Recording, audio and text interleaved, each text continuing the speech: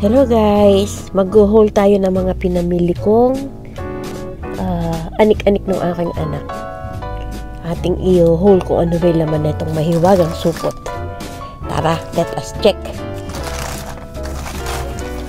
Nako, sinasabi na panay pampaganda. Matutuwa na naman ang aking prinsesa. Tara, ibubuna natin. Sana hindi madurog. okay. Ito, meron siya dito eyelining pencil. Ito po yung inilalagay doon sa kanyang mata na iginuguhit na napakanipis na itim para maging singkit yung kanyang mata. Hindi ko po siya buksan kasi kanya to. And then, uh, we have another one. Yan.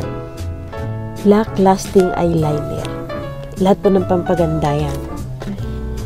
Siyempre, meron din po siya nito uh, anong tag dito? Uh, blush on po siya, blusher. Yan, blusher siya. And then, eto pa po. Isa pang blusher ulit. O, oh, baliktad, sorry. Yan. Nahilig po kasi yung anak ko na yun sa pampaganda. Yan. Meron din po siya dito another uh, yan,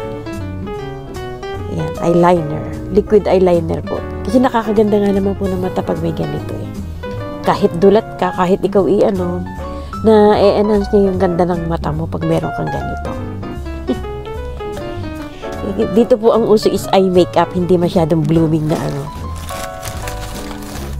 Meron pa ulit siyang isa pa. So, dalawa ko. Ibili ko siya dala-dala. Tinanggal ko po yung price kasi medyo nag-sale po sila.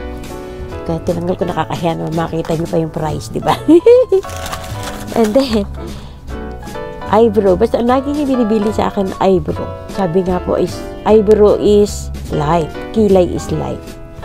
Yan. Mura lang po to.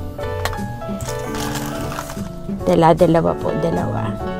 Dalawa po kasi ang anak ko eh, yung isa nasa Pinas. So, bawat bili ko po, tig-isa sila ng tig-isa. At syempre, may eyebrow pa rin po. Ito po yung uh, powder, eyebrow powder. Ito po sa akin to.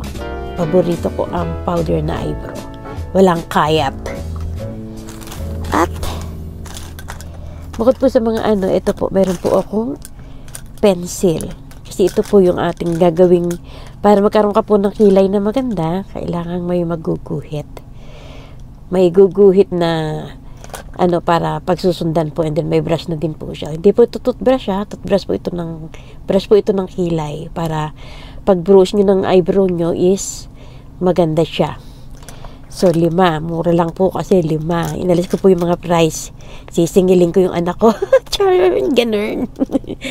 so, yan po yung over, ah, yung holding na ating mahiwagang supot.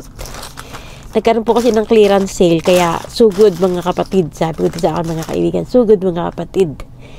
Yan. Sa halagang 100 dirhams, ito na po yung makeup ng aking mga anak. Kasali na yung isa kong para sa kilay ni Lola. Ang nagmumurang kilay. Thank you guys for watching and hope to see you on another videos. Keep updated po through subscribing and dan po da kalembang po pulpak ha. Please, thank you.